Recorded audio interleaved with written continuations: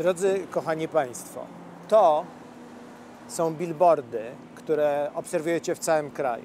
One są oparte na wielkim, wielkim kłamstwie władzy. Poczynając od tego, że władza mówiła nam, że to jest do poprawienia wizerunku Polski za granicą, a dalibóg jesteśmy raczej w Polsce i to jest po polsku napisane.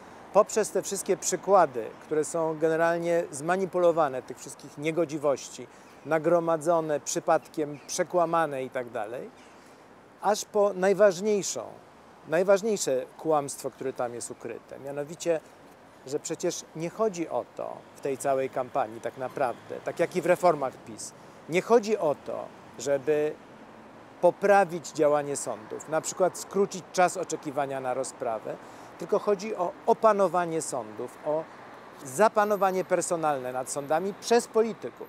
Czyli dokładnie to, czego jak wynika z badań, które zrobiliśmy, Polacy nie chcą.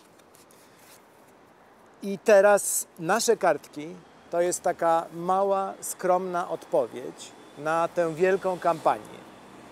Rozdawaliśmy je na ulicach, rozsyłaliśmy je pocztą, a teraz można na stronie OkoPress, kartka pocztowa, je sobie wydrukować i rozprowadzić wśród znajomych. Po prostu chodzi o to, żebyśmy nie godzili się na kłamstwo. Jeżeli zgodzimy się na kłamstwo, jeżeli zobojętniejemy na kłamstwo, to skończymy się jako demokratyczne społeczeństwo.